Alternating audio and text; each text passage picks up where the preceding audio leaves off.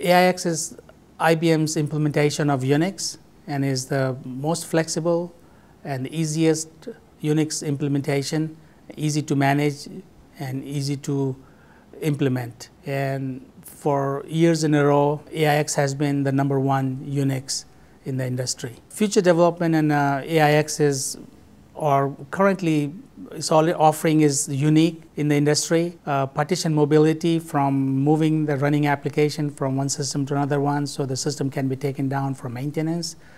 Uh, workload partition, consolidating multiple application in a single AIX image so the less number of AIX image has to be maintained that reduces the administrative cost in managing the data centers.